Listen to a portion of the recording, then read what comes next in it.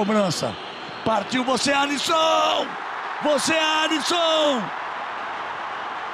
Subiu bonito! Por isso, Alisson, você é um dos melhores goleiros do futebol mundial. Não teve rebote, não teve nada. É, ele intuiu a batida, né? E saiu um segundo antes, por isso que ele conseguiu chegar com muita segurança.